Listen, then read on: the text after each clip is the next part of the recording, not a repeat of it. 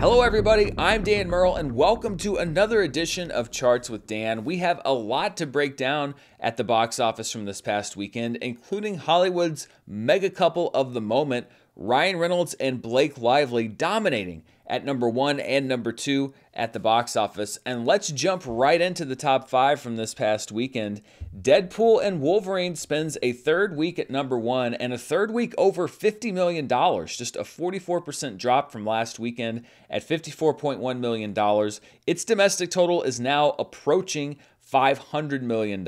It ends with us starring Blake Lively, who is married to Deadpool himself, Ryan Reynolds, comes in second place at $50 million estimated, although I've seen some reports that it may come in slightly under 50, but still, that is a very impressive debut for a movie that really wasn't on a lot of people's radars even a few weeks ago, certainly not on mine to this degree. So we have another great movie breaking through in August that's going to help us recover from that slow start in the summer, and we'll see where that final number comes in. But with the budget around reportedly 25 to 30 million dollars, that's a great start for It Ends With Us. In third place is Twisters, which has just been doing well in the background. It's been in the shadow of bigger movies like Deadpool and Wolverine every week since it's opened. It drops 34.2% in week four, another $15 million. Its domestic total is now at $222 million.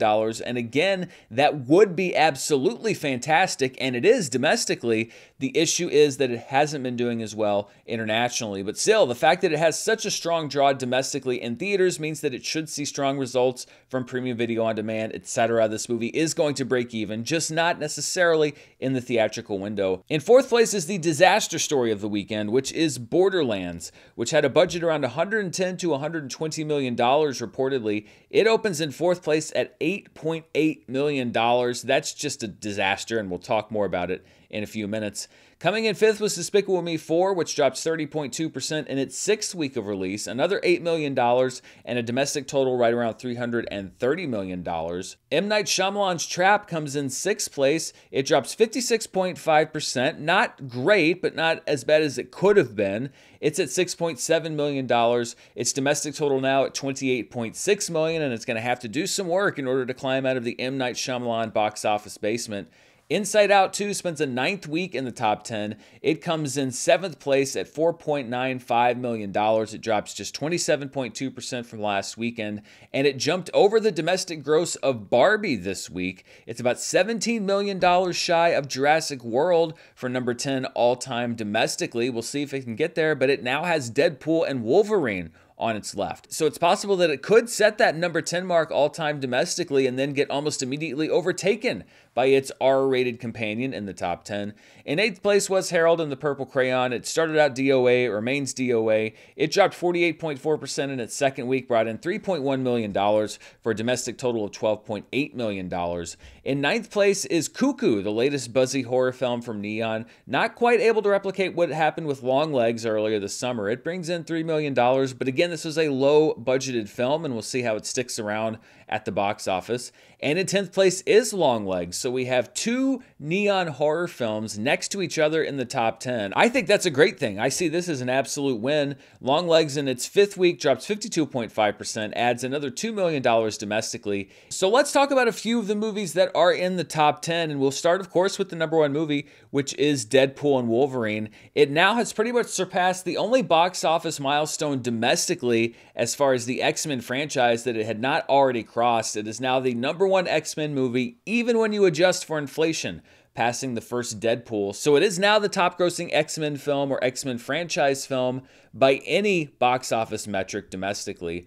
Also, looking at the franchise tracker for the MCU, Deadpool and Wolverine is now the sixth highest grossing MCU film of all time domestically. It's past movies like Doctor Strange and the Multiverse of Madness, Captain Marvel, Black Panther, Wakanda Forever, and Avengers Age of Ultron. But it has a pretty stiff barrier if it wants to break into the top five, because ahead of it is the Avengers at $623.3 million. I don't know if Deadpool and Wolverine is going to get there necessarily, but it's going to get pretty close. If it doesn't catch the Avengers, it will be an interesting race to watch. So, a top five, top six Marvel movie domestically for Deadpool and Wolverine. When you look at the MCU adjusted for inflation, Deadpool and Wolverine is now a top 10 film all time. It's past Guardians of the Galaxy Volume 2, Black Panther Wakanda Forever, Spider Man Far From Home, and the original Iron Man. And it is within easy striking distance of Captain Marvel, Captain America Civil War, Iron Man 3, and Avengers Age of Ultron. But it's not going to get higher than number six because the fifth highest grossing film is Avengers Infinity War at $808 million. So it looks like Deadpool and Wolverine will be the sixth highest grossing film of the MCU, adjusted for inflation. And looking at the race for what will be the number one movie of summer 2024, the yellow line there is Deadpool and Wolverine. The pink line is Inside Out 2.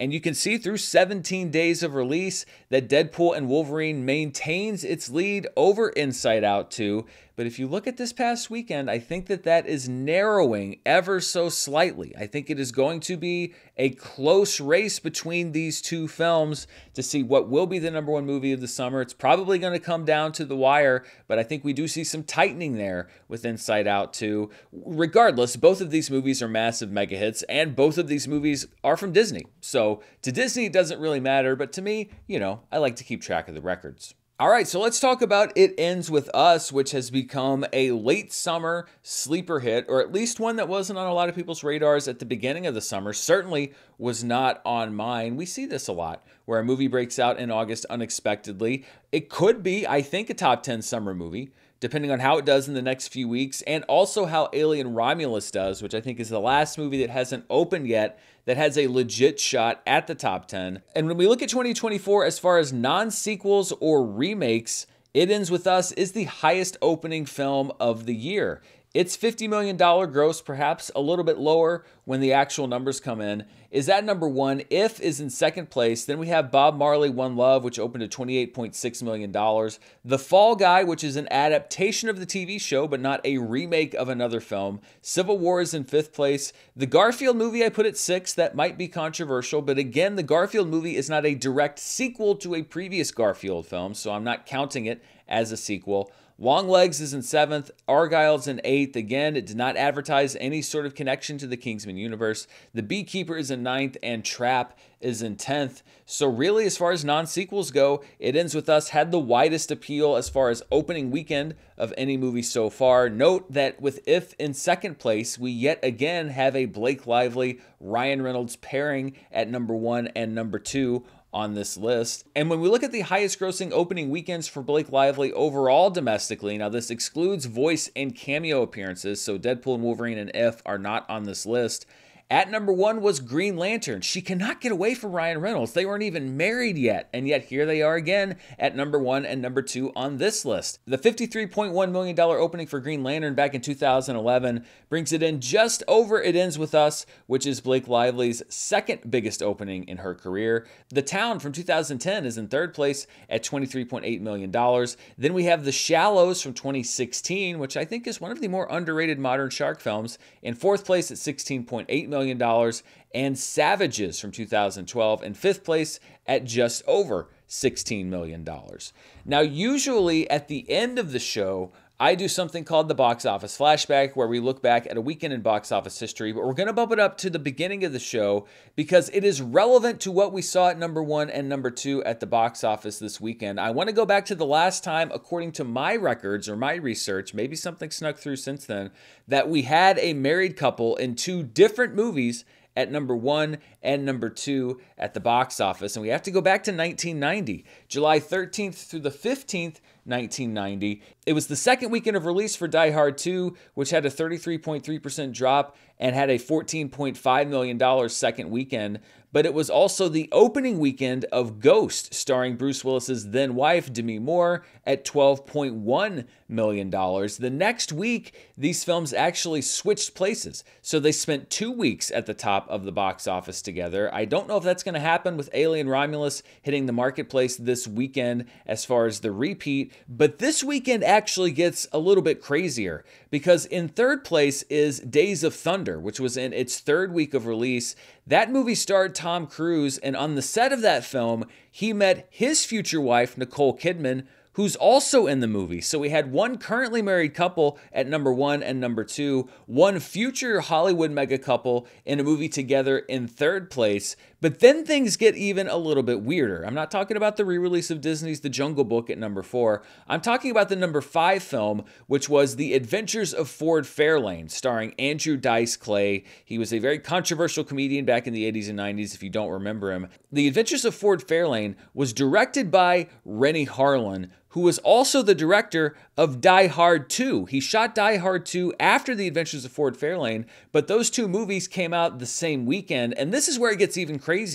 Opening that same week at number 7 was the movie Quick Change, starring Geena Davis, who three years later would marry Renny Harlin, the director of Die Hard 2 and The Adventures of Ford Fairlane. So, in just one weekend's top 10 back in 1990, we had three current or future high profile Hollywood couples all sharing the box office landscape.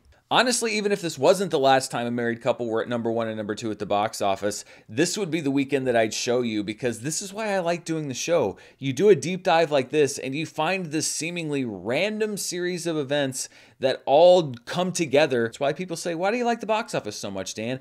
It's things like that. It's not really consequential. It's just kind of weird and cool. All right, enough of this talking about movies that did well. Let's talk about the big bomb of the weekend, which was Borderlands. And let's look at some of the stats on this movie. It was the fourth worst wide opening ever for Cate Blanchett, meaning a movie that opened in 1,000 theaters or more. It was also the fourth worst wide opening for Eli Roth. It was Kevin Hart's sixth worst wide opening weekend, Jamie Lee Curtis's seventh worst wide opening weekend, and Jack Black's 11th worst wide opening. And keep in mind, this is without adjusting any of these numbers for inflation. It probably would fare much, much worse in most cases if you were to do that. It was also the worst wide opening weekend for a video game movie, excluding the COVID year of 2020, since Ratchet and Clank back in 2016. If you include the year 2020, then it would be the lowest video game movie opening since Monster Hunter, which did open wide but was in the later part of the year and really at a time when not many people were going to the movies. And this was also the worst opening of 2024 for a movie with a 100 plus million dollar budget. Is this the biggest bomb of the year? Well, it's certainly in the running. We've had movies with bigger budgets like Furiosa, a Mad Max saga, that were box office disappointments, but they made way more than this movie is going to make. It's not doing well domestically. It wasn't even in the top five worldwide this past weekend. Unless some country comes in and saves Borderlands from a terrible box office fate, even though it has a lower budget point, I think it is possible that it will be the biggest box office bomb of the year so far. And I will keep track of that gross and bring you those calculations as we know more. We don't quite know enough after opening weekend to know exactly where it's going to land, but I think it's in contention. And really, I didn't think that we'd see a movie this year worse than something like Madame Web, which I thought was pretty horrible. Borderlands is I think a worse movie. I know some people said that they enjoyed it. I got the old you don't know how to enjoy a fun movie, turn off your brain, etc. that I get when I dislike any movie. Uh, but I think that it was a worse film, and the audience obviously didn't really care for it either. It got a D plus cinema score. Word of mouth was atrocious on the movie. Every movie has its fans, and Borderlands certainly has a few supporters that gave me an earful this weekend. Uh, but I do not see this movie being set up for success. And um, yeah, this could be the flop of the year. We're just going to have to wait and see. One more quick note on a movie in the top 10 Longlegs has officially passed Civil War as the second highest grossing film based on no IP, basically, an original intellectual property. It's not going to catch If, which is about $30 million ahead of it, but still very impressive for a small indie film from an indie distributor that had a very cheap, non traditional marketing campaign. And Longlegs will be one of the more lucrative films of the year. Looking at movies that dropped out of the top 10, A Quiet Place Day 1 is out after six weeks, The Firing Squad is out after one week, and Ponyo, which is a film from Studio Ghibli. It was part of the annual Studio Ghibli Fest and actually made the top 10 last week when final numbers came in. It is out after one week, so one after six weeks, and then two movies out after one week. And looking at the biggest theater count changes for this past weekend, Longlegs had the biggest loss of theaters. It lost 840 of them, but it's still in wide release. It's in 1,310 theaters. A Quiet Place Day 1 is now out of wide release. It dropped 571 theaters. It remains in 468 of them. Kneecap, which I thought was a really good indie movie about an Irish hip hop band, lost 499 of its 700 or so theaters. It remains in just 204. And this is disappointing because you see this all the time. An indie movie comes out, you have one week to see it, and then it's gone. I wish theaters are able to give these movies more runway to give people time to discover them. Kneecap is not a movie that has a huge marketing budget, it's going to rely on word of mouth. And by the time you hear about it, it's out of theaters. So if you didn't see Kneecap in theaters, look for it on streaming, I'm sure very soon, because I thought that it was a really fun movie. Inside Out 2 loses another 415 theaters. It's now in 2,200 theaters total. It's got a few that it could have given a kneecap, surely. And The Firing Squad loses 370 theaters. It is now in 440 theaters total.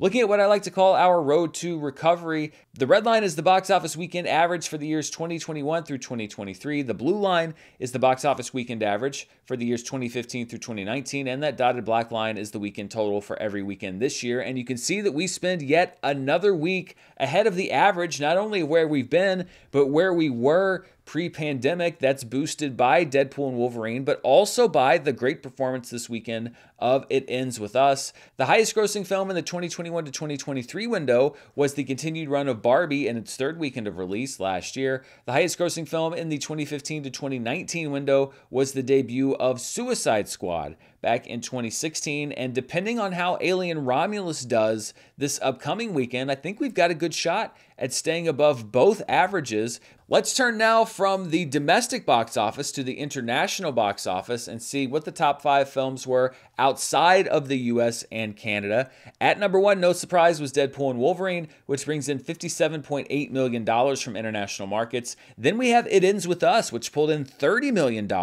outside of the domestic marketplace. So it's not just here, it's also out in the world where we see grosses coming in for It Ends With Us. Successor from China with a very small domestic footprint, most of this money coming from China, brings in another $24.6 million. Then in fourth place, we have another film from China called Upstream. It's a drama about a stay at home husband who suddenly finds himself back in the workforce. $22.7 million for Upstream and $18.7 million for another Chinese film, the animated film White Snake Afloat, the third and final film in the trilogy based on Chinese folktales.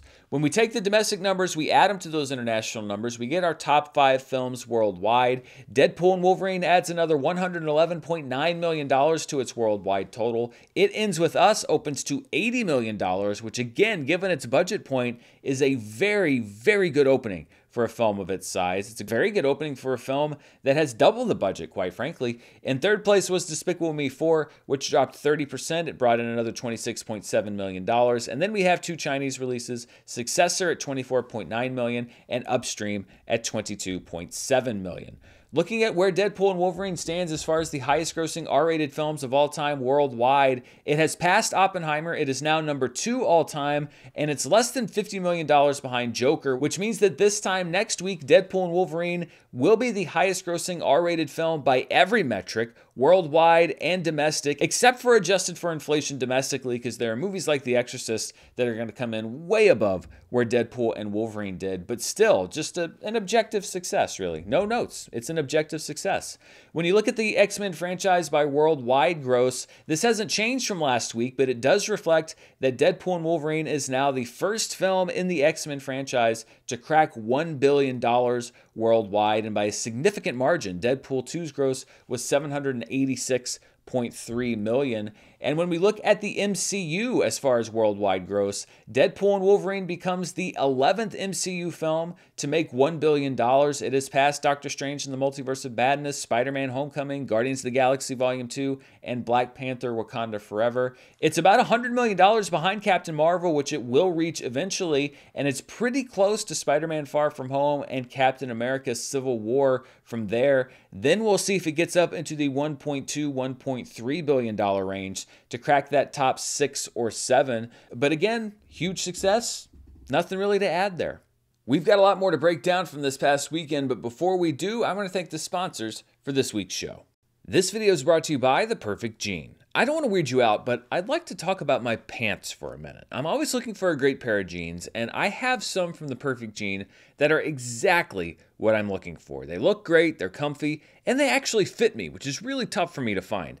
And I'm not just saying this because they're talking points in an ad. I mean, they are, but just because they're talking points doesn't make them untrue. The truth is that the Perfect Jean is as advertised. No more stiff denim, no more discomfort in the crotch, aka the work zone. They just feel great, and they're always the first pair that I grab out of the laundry. The Perfect Jean also has a huge range of sizes from 26 to 50 in the waist and 26 to 38 in length. So it doesn't matter whether you're rocking a fab bod or a dad bod, these jeans will fit. I've worn other pairs of fancy jeans before, and it's like wearing a suit. I can't wait to get home and change into something more comfortable. But I can wear my perfect jeans all day, from screening a movie on my couch at home to screening a movie at a nice theater, and I'm completely comfortable the entire time. It's finally time to stop putting up with uncomfortable jeans by going to theperfectjean.nyc. Our listeners get 15% off your first order, plus free shipping, free returns, and free exchanges when you use code DAN15 at checkout. That's 15% off for new customers at theperfectjean.nyc with promo code DAN15. After you purchase, they'll ask you where you heard about them, so please support our show and tell them that I sent you. F your khakis and get the perfect jean. This video is brought to you by Miracle Made. I'm going to tell you something right now that you can't unhear. Did you know that traditional bed sheets can harbor more bacteria than a toilet seat? Don't worry, this isn't a criticism of you, it's just how it is. That bacteria can lead to acne, allergies, and stuffy noses, but Miracle Made offers a line of self cleaning antibacterial bedding that prevents up to 99.7% of bacteria growth and requires up to three times less laundry. Miracle Made sheets use silver infused fabrics inspired by NASA that not only stay fresh longer than regular sheets, but are also temperature regulating so you can stay cool and clean all night long. They're also really comfortable, more comfortable than sheets in most of the hotels that I've been to. Honestly, I just start bringing my own sheets when I travel if that didn't put a big dent into my carry-on allowance. Stop sleeping on bacteria and sleep more comfortably today with Miracle Made.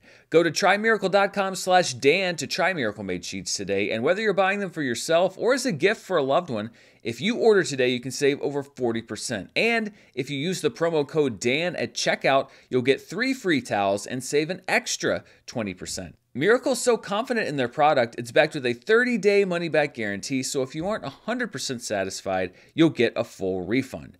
Upgrade your sleep with Miracle Made. Go to trymiracle.com slash Dan and use the code Dan to claim your free three-piece towel set and save over 40% off. Again, that's trymiracle.com slash Dan to treat yourself.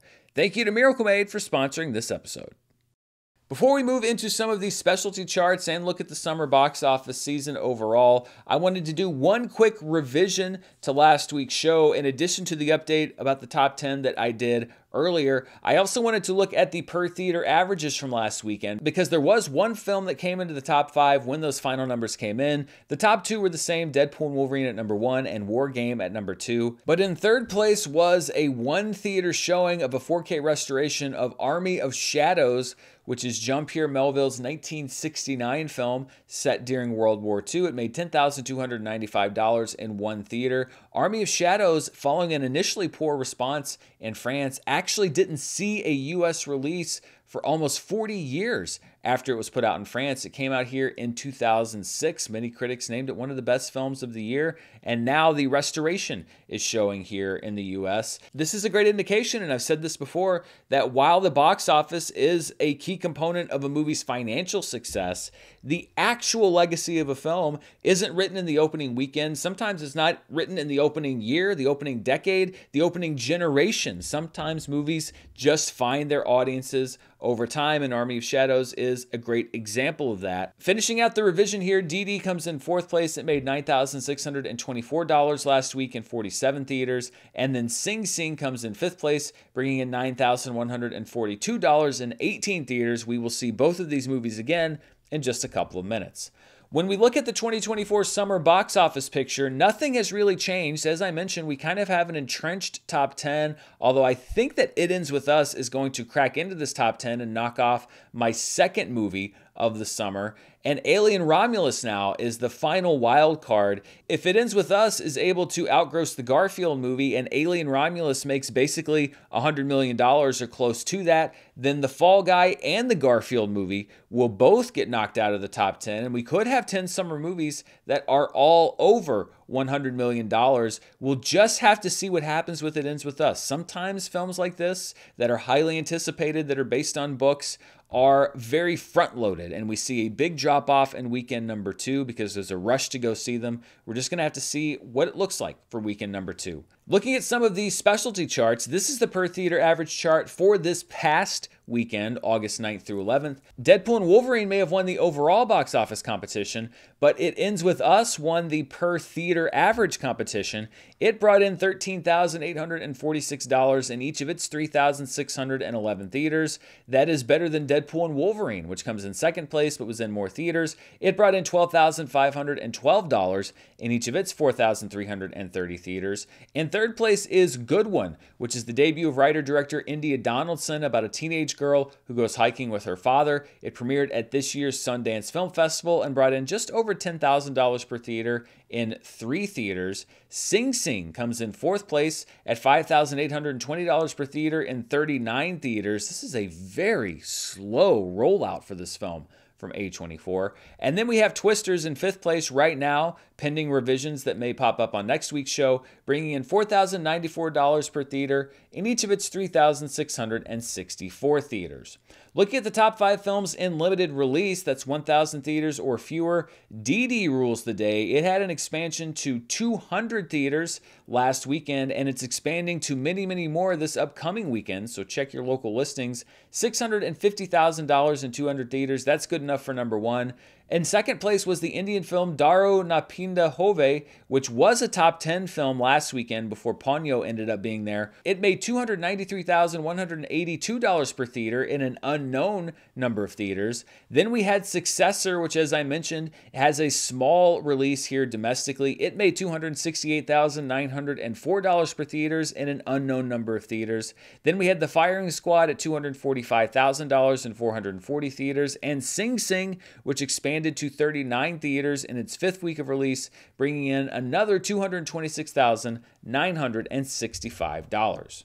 Looking at the 2024 annual domestic box office, this is movies released in the year 2024. Really, just a couple changes here. The top four remain the same, with Inside Out 2, Deadpool and Wolverine, Despicable Me 4, and Dune Part 2 pretty entrenched for now. But coming up quickly on Dune Part 2 is Twisters, which is now a top five film domestically for the year. I don't know if it's got another $60 million in the tank, but it was enough to take down Godzilla Kong, The New Empire, which is now number six. The bottom four remain the same Kung Fu Panda 4, Bad Boys Ride or Die, which is actually getting very close to the domestic total of Kung Fu Panda 4. I think it'll be the number seven movie by the time we do the show next week. Then we have Kingdom of the Planet of the Apes at number nine and A Quiet Place Day 1 at number 10.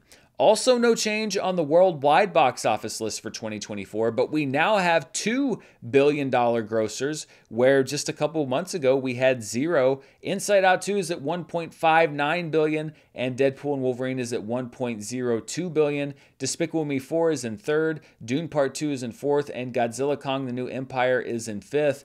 I will tell you that Successor, the Chinese film that we've talked about a lot, is lurking just outside of the top 10, so we could see it knock out Kingdom of the Planet of the Apes as early as next weekend.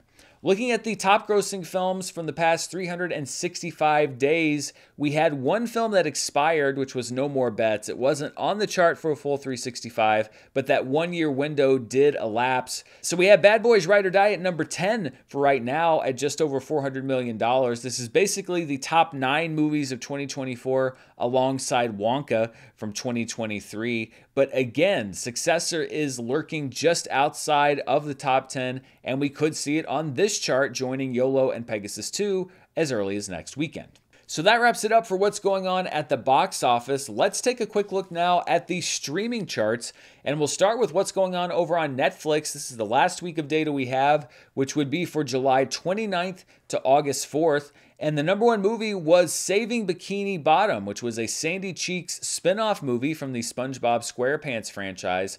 The fact that this was not on Paramount Plus, which is the home of SpongeBob SquarePants, but was in fact on Netflix is the most Paramount Plus thing that I can imagine. 12.76 million views is able to snag Bikini Bottom, the number one spot. In second place is Non Negotiable, a Netflix original movie with 8 million views. Then in third place is the debut of a new series, A Good Girl's Guide to Murder Season 1. This is a series out of the UK about a student who takes on the unsolved murder of a local girl, and it's based on the book series by Holly Jackson. Then we have a few movies that are just new films that hit Netflix. Keep in mind, this covers the first week of the month when Netflix gets a bunch of new licensed titles. So in fourth place, we had Paw Patrol The Mighty Movie, which was the sequel to the original Paw Patrol movie. In fifth place was Don't Breathe 2. Then we have Trolls Band Together at number six, Find Me Falling at number seven. Jack Reacher Never Go Back, starring Tom Cruise, is at number eight at 5.39 million views. Failure to Launch, which was one of the Keystone Matthew McConaughey peak rom com movies comes in ninth place at 4.8 million views, and then The Bad Guys comes in 10th with 4.2 million views. We'll probably see more Netflix original programming next week when we're not covering a week with a bunch of new movies that are added to the service. Let's turn now to the Nielsen ratings. These are US numbers only, and they're delayed by about a month because I guess it takes Nielsen that long to compile all of the data. So these are the top 10 most watched streaming movies for the week of July 8th through the 14th. Beverly Hills Cop Axel F is off of the current Netflix chart because its debut is a little bit more front loaded than a lot of Netflix films. But because we're going back about a month, it is still number one on the Nielsen chart. This is the week after Beverly Hills Cop Axel F was released, and it was the easy number one at 15.2 million hours watched in its second week of release. If made its debut on Paramount Plus back in early July and brought in 10.1 million hours watched. In third place was Divorce in the Black on Amazon Prime Video with 8.3 million hours watched. This is the latest film from Tyler Perry, the second movie in a four movie deal that he has with Amazon, which is apart from the partnership that he also has with Netflix. So Tyler Perry, as always, staying busy. In fourth place is the first Paw Patrol movie, Paw Patrol the Movie, at 6.4 million hours watched. In fifth place was the debut of Descendants The Rise of Red, the fourth film in the Descendants series on Disney Plus, focusing on the daughter of Alice in Wonderland's Queen of Hearts. 6.43 million hours watched, just barely out of that fourth place spot. A Family Affair on Netflix comes in sixth. Godzilla Kong on Max comes in seventh. In eighth place was The Long Game on Netflix, which was a smaller release not too long ago at 5.7 million hours watched. Then we have Inside Out on Disney Plus at 5.3 million hours watched. And I think when Inside Out 2 finally hits the streaming service, those numbers are going to be bananas. And speaking of bananas, Minions on Netflix is at number 10 at 4.7 million hours watched. I legitimately did not plan that, but of course, the Minions always find a way. When we look at the year's most watched streaming movies through July 14th, the Super Mario Bros. movie remains number one, followed by Moana at number two and Damsel at number three. But Beverly Hills Cop Axel F is making a run for that number three spot. It's at 49.4 million hours watched. It's about 10 million hours behind Damsel. We'll see if it can catch up to it. Inside Out is now the fifth most watched streaming movie of the year here in the US. That knocks down Roadhouse, Hitman, and Lift. A Family Affair is now the ninth most watched streaming movie of the year at 38.7 million hours watched. Wish goes down one spot to number 10, and Atlas and Madame Web are both off of the most watched movies of the year chart so far. Looking at the 10 most watched streaming shows for the 8th through the 14th, not a lot of new titles, but I believe this is the first time, or certainly the first time in a while, that House of the Dragon is at number one as the most watched show on streaming at 21.2 million hours. And this is just the people watching on Max. This does not count the people that are watching on cable that watch it on HBO. So the numbers would be even bigger if House of the Dragon was a streaming only show. Bluey comes in second place on Disney Plus, followed by Suits and The Boys. Love Island is the new title that's on the top 10 list this week at 17.1 million hours watched. Dexter, which was recently put back on Netflix, is at number six, followed by Grey's Anatomy at number seven. Your Honor, which is the big breakout license show of the summer, at number eight. And then Family Guy and Bob's Burgers, which are becoming a familiar duo, down at numbers nine and 10. Looking at the most watched show by watch time per available episode for July 8th through the 14th, you basically take the total watch time, divide it by the number of episodes, and see what each episode would average. House of the Dragon remains number one at 1.41 million hours watched per episode, followed by Supacell at 1.24 million hours watched per episode. Receiver, which is another show on Netflix, comes in third place at 1.16 million hours watched per episode, followed by Your Honor at 739,160 67 hours per episode. Desperate Lies is in fifth. The Boys is in sixth. The Bear is in seventh. Vikings Valhalla comes in eighth place. Bridgerton comes in ninth. And Netflix's revival of The Mole rounds out the top 10. And speaking of the boys, when we look at the most watched original streaming series of 2024 through July 14th, The Boys has moved up to number six, the sixth most watched original show of the year at 97.3 million hours. The Gentlemen, Reacher, Evil, and Three Body Problem all take a step down. And The Boys is rapidly approaching Avatar The Last Airbender to become the fifth most watched original streaming series of the year. We're approaching the end of the season as far as the Nielsen reporting goes, but there is still a little bit of gas left in the tank for the boys. Finally, I just wanted to notice something very odd that happened this past week. You could call it a strange occurrence before. This is the chart for the most watched original streaming series since Nielsen began reporting numbers back in 2020. And for months now, Stranger Things has been just behind Ozark for number one on that list. And I figured that's how it would stay until the new season of Stranger Things debuts in, let's say, 2038. But for some reason, Stranger Things showed up on the overall top 10, and the hours watched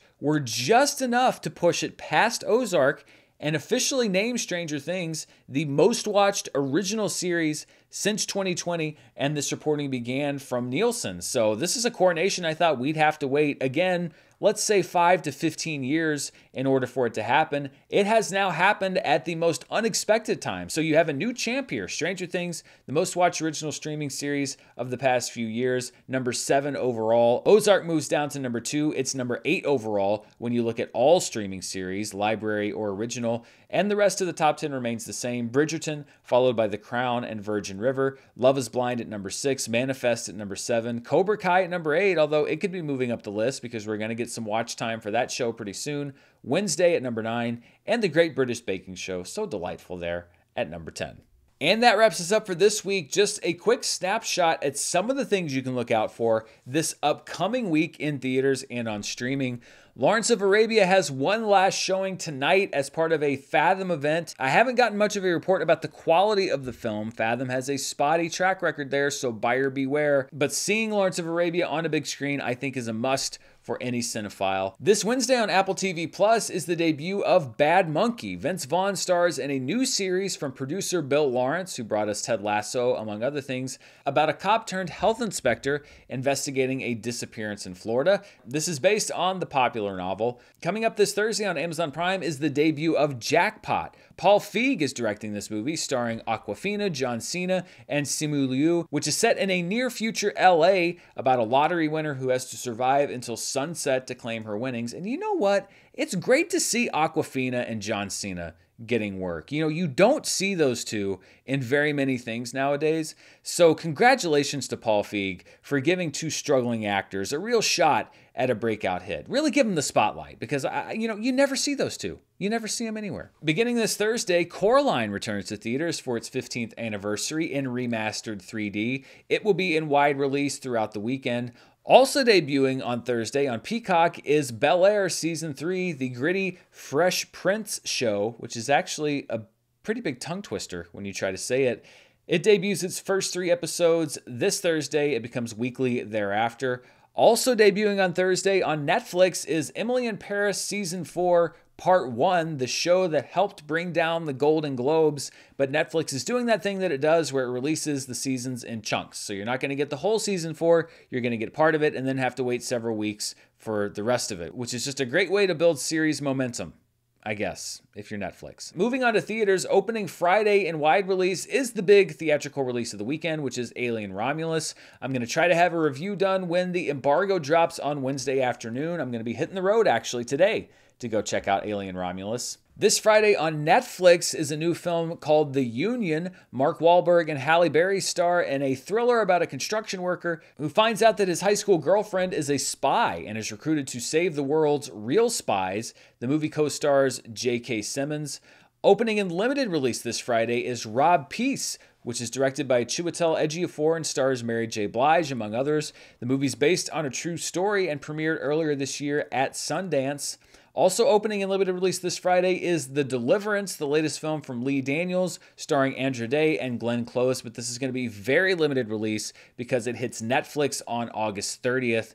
And finally, and I mentioned this earlier, Didi has been in limited release these past couple weeks. It is now expanding to many, many more markets. It's hitting my local market this week. And if it's hitting my market, it's a good chance if you're in a large to mid sized city that it could be hitting your market. This is one of my favorite movies of the year. It also came out of Sundance.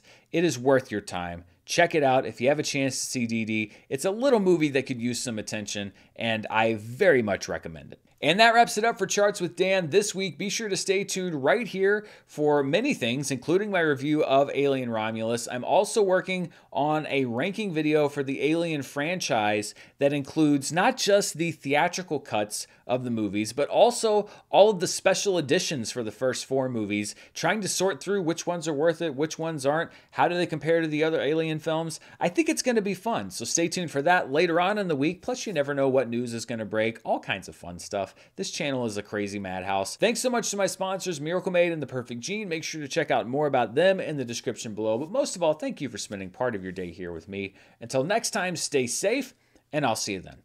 Bye.